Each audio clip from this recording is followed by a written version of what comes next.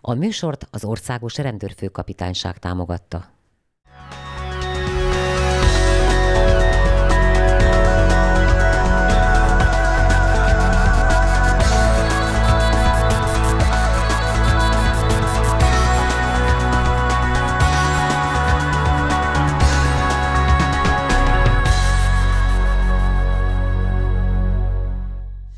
Tisztelettel köszöntöm a kedves nézőket a mai bűn és baleset megelőzési magazinműsorunk alkalmával. Mai témánk az életellenes bűncselekmények alakulása napjainkban. Ez sajnos nagyon aktuális téma, és ezért gondoltam, hogy egy olyan vendéget hívok, aki ízig-vérig benne van ebbe a témában mai napig, mint nyugdíjasként dr. Kovács Lajos nyugdíjas ezredes urat, az NNI volt osztályvezetőjét, aki jelenleg most egyetemi docens tisztelettel köszöntelek. Azt hiszem, hogy ez a felvezető áll minden, hogy leüs. Teljesen tiszta, világos. Mikor te még aktív voltál az életellenes bűncselekményeket, ha összehasonlítjuk a maival, hogyan alakultak szerinted? Számszerűleg, minőségileg, mármint elkövetők szempontjából gondolom. Az érdekes kérdés, mert rengetegszer szembesülök azzal, hogy milyen sok a gyilkosság Magyarországon. Tehát alig telik el hét, alig telik el nap, hogy ne lenne valamelyik hírcsatornán valamilyen gyilkossági értesítés. Most legutóbb ugye Kaposváron megölték a Nemzeti Dohányboltnak az eladó kislányát, aztán később itt az Akácsa utcában megöltek egy hölgyet Budapesten, és néhány nap eltéréssel voltak ezek az ügyek. Tehát úgy tűnik, mintha sűrűn történének emberülések. Ezzel szemben sokkal kevesebb az emberülés, mint mondjuk 10 vagy 20 évvel ezelőtt volt. Ez nem abból adódik, hogy most talán többet hoznak nyilvánosságra, mint korábban? Biztos, hogy a médiának nagy szerepe van ebben, mert hát történik egy gyilkosság, és akkor minden csatorna tudósít róla. Meg a napilapok. A napilapokról nem is beszélve, és akkor ez úgy tűnik, hogy akkor csatol az ember, ahova kapcsol az ember, ott már is hallja, hogy megint-megint gyilkosság történik. Nem beszélve, hogy a világból is azok a hírek dominálnak, ahol tudom én, valamilyen baleset történt, repülő lezuhant, földrengés, tehát mindig a tragédia ömlik a televízióból. Ebbe benne van természetesen a magyarországi gyilkosságoknak a előfordulása is, és úgy tűnik, mint a sok lenne, pedig nem. Hát tavaly 105 vagy 106 volt, azelőtt 13-ban azt hiszem 110 vagy 108, nem tudom, de 100 fölött alig. Azzal szemben, hogy olyan 50 évig Magyarországon 180-200 körül volt évente a gyilkosságok száma. Tehát ehhez képest majd, hogy nem a felével csökkent. Mégis úgy tűnik, mint a több lenne. Hát ezt annak tudjuk be, hogy előbb említetted, hogy a média igencsak foglalkozik vele, mert akkor ez egy olyan hír, ami az állampolgárokat is inspirálja és érdekli. Hát jobb lenne ebből kikerülni, gondolja az ember, de hát senki nem akar bűncselekmény áldozatává válni, de sajnos néha előfordul. Ez sajnos elő. Most, ahogy említetted, az egyetemen mit tanítasz? Kriminalisztikát, tulajdonképpen bűnügyi nyomozás tant. Az volt a véleményünk, Ibolya Tibor úrral, a fővárosi főügyésszel, hogy az egyetemen általában kevés a kriminalisztika oktatás. Tehát ez van olyan egyetem, ahol ez fakultatív tárgy, van, ahol csak fél éves, van, ahol egy éves, legtöbb helyen nem is kötelező, úgyhogy bármikor fölvehető elvileg, tehát nem a fontos tárgyak közé tartozik. És azért az a véleményünk, az enyém különösen, hogyha egy büntetőjogász elmegy a büntetőjog valamelyik területére, tehát védő lesz, ügyész lesz, bíró lesz, és ennek ellenére nem tudja, hogy hogyan rögzítik a bizonyítékokat a rendőrség nyomozati szakában, abban az ügyben, amiben ő neki ugye vádat képviselni vagy ítélkezni kell, másképpen értékelheti a bizonyítékokat. Látszólag alátámasztja ezt azt, hogy elég sok ügy kerül visszaadásra, elég sok felmentő ítélet születik, sőt, vannak téves ítéletek, amikor nem a tettest ítéljük el. Na most ebben nyilván hunyónak tekinthető a, a rendőrség is, az ügyészség is, és a bíróság is valahol, de hogy ezt, ennek a számát csökkentsük, ezért próbáljuk a kriminalisztikát egy kicsit részletesebben oktatni. Hát igen, ez a rendőrtiszti főiskolán első helyen szerepelt a kriminalisztika oktatása, és ahogy te mondtad, én is csodálkozom azon, hogy idáig nem jöttek arra rá, hogy hát ez legalább a, a a jogot végzett embereknek, különösen a büntetőjog területén, akik kívánnak foglalkozni a bűnügyekkel, hát nem árt, hogyha tisztában vannak a nyomozástannal. Igen, ez biztos így van, de valószínűleg az az oka, hogy annyi új jogág, jogterület születik, annyi, jog, annyi jogáltal szabályozandó új életviszony keletkezik, hogy ezért a kriminalisztika egy kicsit mint a háttérbe szorulna. Az tény, hogy a rendőrészi főiskolán négy fél éves tantárgy, és majdnem hetente négyszer, ötször, hatszor van kriminalisztika óra. Hát nagyon sok számban tanulják a rendőrtiszi főiskolások. A jogászok viszont lényegesen kevesebbet tanulnak belőle. Na de viszont hasznát vettük ezeknek az oktatásoknak, azt hiszem egy időben jártunk a rendőrtiszi főiskolára. Hát az életben nekünk ez a kenyerünk, ez volt a kenyerünk, úgy, úgy mondjam, ebből éltünk, ebből tudtuk azokat produkálni, amiből az későbbiek folyamán bűnügyek lettek bírósági ügyek. Ez így van. Mondok egy érdekes példát. Van egy olyan nyomozási cselekmény, te biztos, hogy emlékszel majd rá, a felismerésre bemutatás. Igen. Amikor sorba állítják az indiferens személyeket, köztük áll az a bizonyos személy, akiről azt gondolja a rendőrség, hogy ő gyanúsított lehet.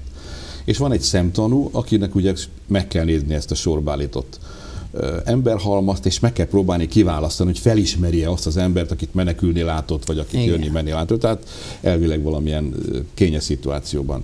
Na most nemzetközi felmérések szerint a legtöbb tévedés a nyomozásoknál a felismerésre bemutatások kapcsán történik. Igen? És ennek kettő iránya van. Az egyik az, hogy a tanuk nagyon sokszor tévednek, de jó indulatúan, tehát nem mindig szándékosan nyilvánvaló. A másik az, hogy a, a nyomozók, a detektívek, akik tudják, hogy ki a, a kritikus személy a sorban, önkéntelenül olyan instrukciókat sugalnak, vagy adnak a tanúnak, hogy azt fogja kiválasztani, akit a, akiről a rendőr tudja, hogy ő a gyanúsított. Uh-huh, uh-huh. Na most, ha az nem a tettes, mégis kiválaszták, akkor ez már nagyon komoly bizonyítéknak számít. Hogy lám-lám felismerték, hiszen ő volt a helyszínen. Nagyon ékes példája ennek Kajzerede esete a Móri ügyben, akit ugye Igen. három tanú kiválasztott, hogy ott állt a bank ajtajában. Uh-huh. És itt nyilvánvaló, hogy az ember azt gondolta, a bíróság és az ügyészség is, és a rendőrök is sokan, hogy ha három tanú felismeri, akkor biztos, hogy ő volt. És közben nem ilyen sugallatot, akkor az is, vagy hogy volt? Lás? Én nem állítom. Te jobban én, tudod Én ezt. nem voltam jelen ennél a nyomozási cselekménynél. Csak Aha. más az, hogyha valakit úgy választ ki egy tanú, hogy határozottan felismeri valamilyen, valamilyen jelről, valamilyen megkülönböztető jelről. És más az, hogyha a többiek nem hasonlítanak arra, mint akire ő emlékszik, és kizárja a többieket, uh-huh. és marad egy, aki a legjobban hasonlít. Ez nem kategórikus felismerés. Ha ebből több van, hogy talán ő az, talán a harmadik a sorban. A talán Ez az nem már meggyőző. baj. Az, az már baj. baj. Az már nem meggyőző. Már baj, Na most a tanú, aki olyan helyzet előtt áll, hogy ha nem válassza ki a tettest, akkor ugye rajta fog száradni, hogy ő nem segített a hatóságnak, nem segített leleplezni egy ilyen súlyos bűncselekmény elkövetőt, uh-huh. hát őt megfűti a belső teljesítési vágy és egy kicsit is emlékezteti valamelyik ember arra, akit ő valóban látott, akkor hajlamos rámondani, hogy biztos, hogy ő volt. Uh-huh. Ez meg megtévesztő ugye a nyomozók számára. Is nyomozók is. számára is, mert akkor könnyen a bíróság is ebbe az irányba hajlik, ugye? Így van. Ezért és van az, hogy ha a bizonyítékok között mondjuk csak a, felismerő, a felismerés van bizonyítékként, ezt egymagában, önmagában, egyedül nem szabad döntő bizonyítéknak értékelni, csak hogyha más bizonyítékok alátámaszták azt a felismerést. Tehát az az igazi, hogyha több oldalú van bizonyítva Így az van. elkövetőnek a Így van a gyanúsít egyértelműen több oldalról van bizonyítva, hogy ő az elkövető, mert akkor feltételezzük azt, hogy nem ítélik el hamisan véletlenül, és akkor És mondok még egy érdekes dolgot. Ugye a, van egy tendencia, ami mutathat, kimutatható a, a, a nyomozásokban, a nyomozások taktikájában. Ugye vannak személyi és tárgyi bizonyítékok. A személyi bizonyíték az, hogy a tanúk mit mondanak, a gyanúsítottak mit mondanak, a sértett mit mond, a tanúk tévedhetnek. A, a vádlott, a gyanúsított meg nem is köteles igazat mondani. Uh-huh. Nem is köteles vallomást tenni. Tehát a személyi bizonyítékok száma meglehetősen le van korlátozva, és sok benne a hiba lehetőség. Ezzel szemben a tárgyi bizonyítás, tehát valamilyen szakértői vélemény, azonos-e az új nyom, azonos-e a DNS, azonos-e a lábnyom, azonos-e az anyagmaradvány, azonos-e uh-huh. a mhm. fognyom, bármi, ezek kategórikusnak tekintető vélemények leginkább, ha olyan a nyomrögzítés és olyan a szakvélemény. Ezek döntőek tudnak lenni egy, egy bűnösség megállapításában. E felé tolódik el a világ. Uh-huh. Nem véletlen szoktam mondani azt, hogy ha rossz a helyszínelés, akkor elcsúszhat az ügy. Ez az alaptétel nem változott a mai napig. Mai napig Ez nem ugyanúgy változott. van, mint 50 évvel ezelőtt. Ha a helyszíni szemle rossz, akkor az egész ügy elcsúszhat. Ott kell megtalálni azokat a bizonyítékokat, amik a tettestől maradtak vissza. Tehát aki elmegy egy helyszínelés vezetőjének, egy nagyon-nagyon gyakorlott embernek kell lenni. És mi a véleményed? Ez van most a rendőrségnél?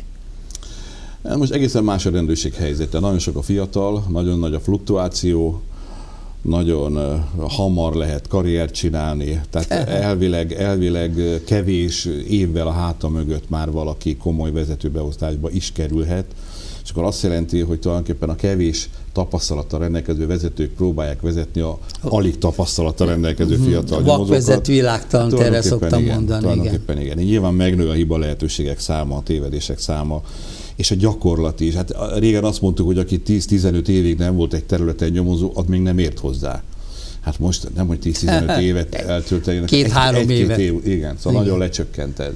Ez valahol Nyilván, nagyon rossz. Nem tudom, nem, nem lehetne ezen változtatni, mert akkor a, ezek a, ez a tendencia, akkor könnyen lesz az, hogy rossz irányba fog menni a nyomozás. Nagyon sok tehetséges nyomozó van most is a fiatalok között, és akik eltögetik. Ha én tartok valahol előadást, azt szoktam mondani, hogy a bűnügyi nyomozóknak három kategóriája ismert. Az egyik a megélhetési nyomozó, aki csak azért van itt, hogy pénzt keressen. Mert ez egy fix Jézus fizetés. A másik kategória az a szakember, aki olyan, mint a kőműves szakember, a cipés szakember, olyan, mint az orvos. Ezt a szakmát megtanulta, jól is csinálja, de nem elkötelezett. A harmadik meg a kriminalista, aki imádja ezt, aki hivatásának tekinti. Ez a harmadik kategória voltam mondjuk én, mondom szerényen, és hát még jó néhány kollégám és barátom, Hát akiket ismertem a cégnél. Most úgy tűnik nekem, hogy ebből a harmadikból kevesebb van. A középsőből van még, viszik a hátukon az egész bűnüldözést. Az egész bűnüldözést. Az elsőből sajnos egyre több van a megélhetési rendőrből. Itt fizetés van, nyugdíj lesz a végén, eldolgozgatunk, jól el vagyunk. Hát ez a baj, hogy ha az- eldolgozgatunk. Az ilyenek számos megnő, akkor, akkor az nem lenne szerencsés a rendőrség számára. Hát sajnos valahogy én úgy érzem, hogy ebbe az irányba megyünk. Valaki menné jobban harsog valamit, azt hiszik, hogy az az igaz.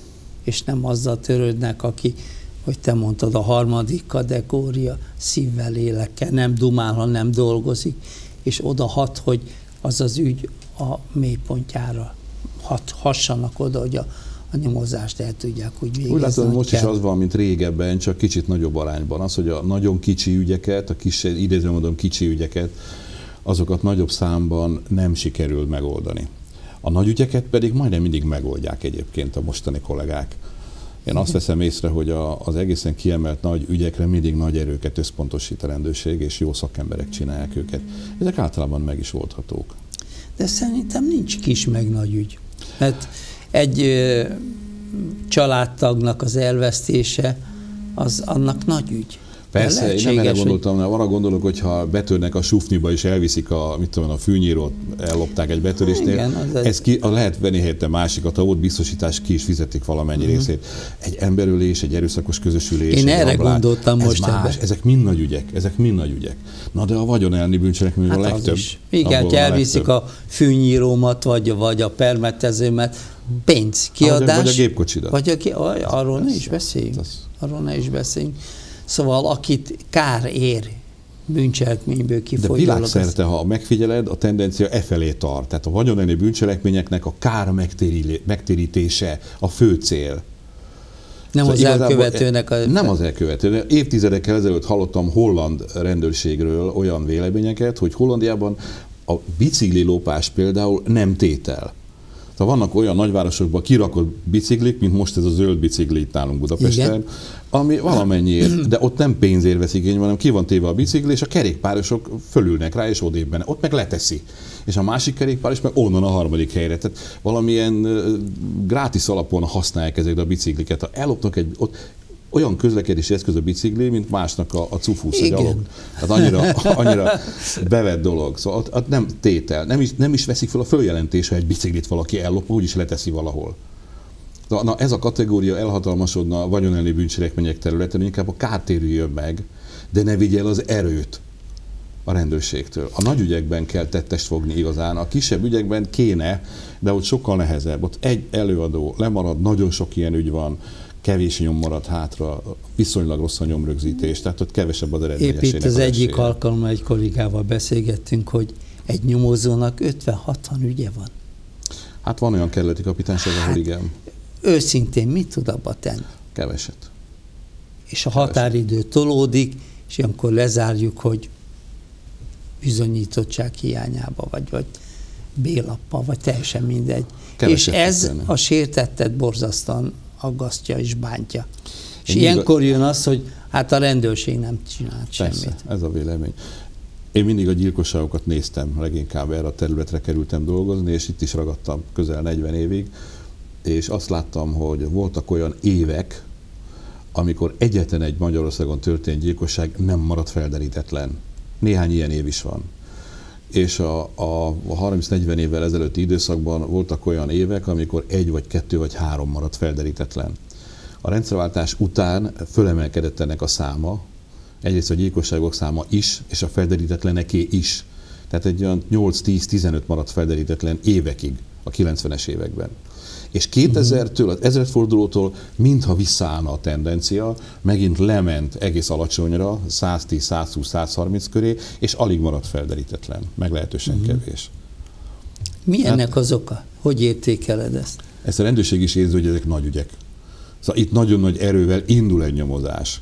Uh-huh. És van egy úgynevezett első csapások, amiben a forró nyomon üldözés van, a helyszíni szemle van, tehát az elsődleges adatgyűjtések, az elsődleges információk Ami nagyon-nagyon fontos. Ami nagyon fontos, és nagyon nagy erőkkel kell csinálni, mert ha a gyilkosság 5 nap múlva, 10 nap múlva, 15 nap múlva nem oldódik meg, akkor egyre kisebb az esélye, hogy megoldódna. Ezért alakítottuk annak idején ezt az úgynevezett döglött ügyek osztályát, Aha. amin pont ezekkel a megoldatlan régi ügyekkel foglalkoztunk. És előveszik azok a, azokat az ügyeket, amelyek évek óta, hogy porosodnak, és ebbe születnek eredmények lesz. Hogy ne születtek, az én időmben születtek, biztos, hogy most is születnek, csak nem látok annyira bele, mert nagyon elfoglalt vagyok az oktatással. De mi nagyon régi ügyeket, kilenc évvel korábban történt gyilkosságot hoztunk vissza a sírból, egy házaspár megölése, Szlávi Bulcsú ügyét hét év után oldottuk meg, ott pedig a, hal- a holtest se volt meg, az áldozat se volt meg. Találtunk öt év után ügyet, találtunk nyolc év után oldottunk meg ügyet, ami sok év után, te is tudod, egyre kisebb az esélye. Hát igen, itt minden nap, minden óra számít, hogy szoktuk Ez mondani, ugye? Ez így van. Ö, mostanában vannak ilyen ügyek, amivel foglalkozó így mellesleg? Hát néha van, még visszaköszönnek régi ügyek, amelyek olyan 8-10-15 évvel ezelőtt történtek, de ezek már csak ilyen lefutásai ezeknek az ügyeknek, vagy ha tettes jelentkezik, vagy új információ merül föl egy régi ügyünkben, akkor, akkor én is megpróbálok belesegíteni. A mostani aktív ügyekben néha meghívnak még a régi ismerőseim, akik dolgoznak, régi kollégáim uh-huh. bizonyos egységeknél, akkor meg szoktak hívni egy ilyen konzultációra, és én szívesen elmegyek és elmondom, mi a véleményem, hát ha tudok valamit segíteni.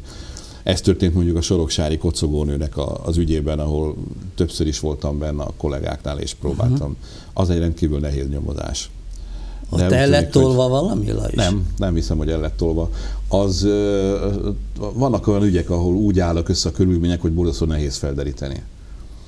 Hát nem ezt most hosszú lenne belekezdeni, de vannak De olyan nem. áldozati körök, ahol nagyon nehéz az áldozat maga. Fenyő János a rengeteg ellenségével borzasztó nehéz Hát igen. áldozat volt. Egy taxisofőr, egy prostituált, egy kocogó nő egy lakatlan helyen. Nem lehet tudni, hogy ki találja őket meg áldozatként. Uh-huh. Tehát aki, akinek ismeretlen lehet az elkövetője, valahonnan jön egy ismeretlen elkövető, az mindig sokkal nehezebb nyomozás, mint hogyha egy kapcsolat öl meg valakit. Tehát akit megöl a felesége, mert megújja a lógását, az viszonylag könnyű lefolyású ügy. De akit megöl a barátja, vagy egy vagyonelni bűncselekmény, ami lakásban történő rablógyilkosság, ezek viszonylag könnyebben megoldható ügyek talán. De ezek, hogy egy taxis, aki bármikor, bármelyik utasa elvileg elkövetett Tehát aki sok sok emberrel találkozhat. találkozik. Ott sokkal nehezebb az ügy. Sokkal nehezebb. Plána megvan a lehetősége, hogy valahonnan messziről jött a tettes, és vissza is ment oda a gyilkosság után. És nem kerül a nyomozás látókörébe. Uh-huh. Akkor nagyon nehéz. Hát ahol DNS marad vissza, ott előbb-utóbb meg lesz a tettes. Ez a DNS dolog egy nagyon csodálatos Nagy találmány. dolog. Igen. Ez nagy talán. Ez az, mikor a tudomány hihetetlen módon besegít a bűnüldözésnek. A digitális forradalom, az összes mobiltelefon a GPS-ével, a biztonsági kamerák, minden e felé mutat, hogy egyre inkább ez lesz a nyomozásnak a homlokterében. Most történik egy közterületen egy bűncselekmény, már kamera felvétel van róla. Hát én Mindjárt másképpen én, lehet indulni. Én is még aktív voltam, én nagyon szeretem a technikát alkalmazni. Hát most ennek az, a forradalma és az van. nem hazudik, nem. ugye bár? Az nem. nem. Az ember az lódíthat, felejthet, tudatosan vagy akaratlanul, de a technika az technika. Igen. Ott van. Lehet látni, ezt csinálta, azt csinálta, vagy nem csinálta, tehát nem lehet ráfogni.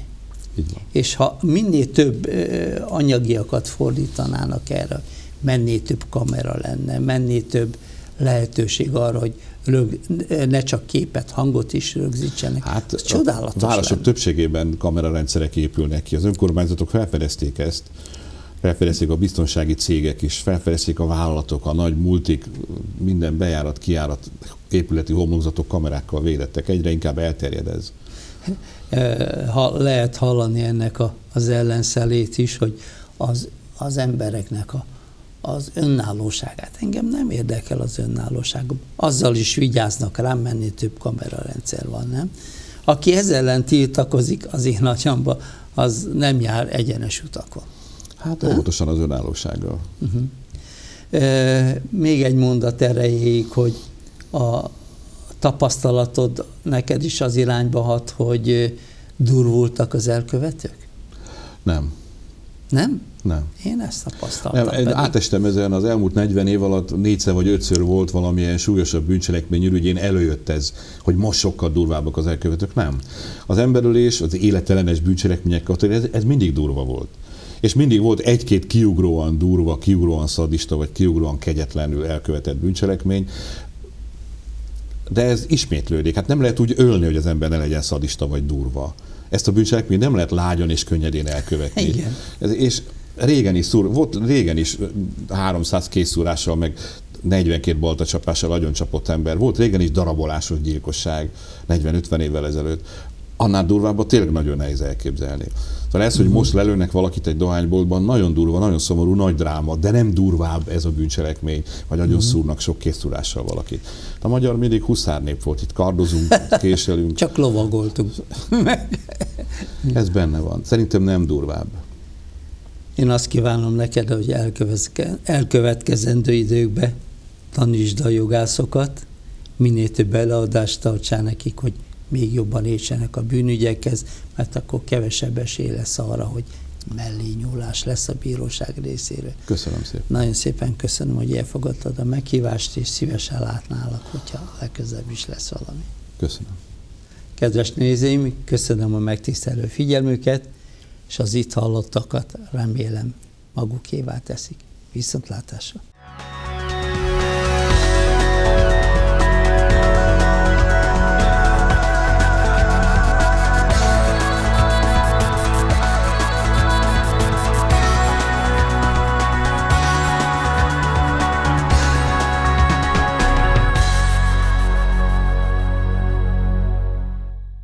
A műsort az Országos Rendőrfőkapitányság támogatta.